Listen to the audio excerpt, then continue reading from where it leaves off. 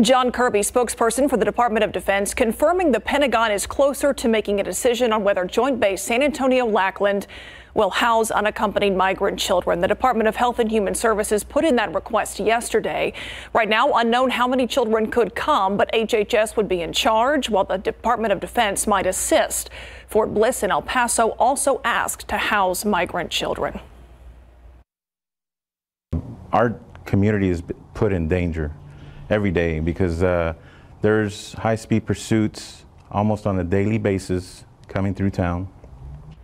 And as the U.S. faces the biggest migrant surge in 20 years, communities near the border are feeling the impact. Many migrants trying to escape violence or terrible conditions in their own countries. But in Uvalde, less than two hours from San Antonio, law enforcement there is reporting an increase of human smuggling cases. The police department, the sheriff's office, they're worried that an increase in high speed chases is putting the community in danger. They tell our Tiffany Huertas resources are stretched thin. From uh January 1st to now, I think we've seen about 35 cases.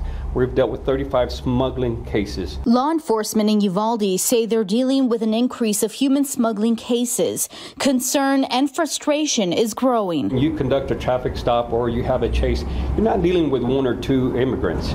You're dealing with eight, 20, 22 immigrants. The Uvalde Police Department and the Uvalde County Sheriff's Office is working closely with Border Patrol. Just last week, uh, you know, we were called out to one of our farm to market roads on 481 where it's, it's obviously a hot spot for, for human smuggling. And uh, so as I was coming back into town, uh, I noticed a vehicle that was speeding. Once I conducted my investigation, I confirmed there were Hondurans.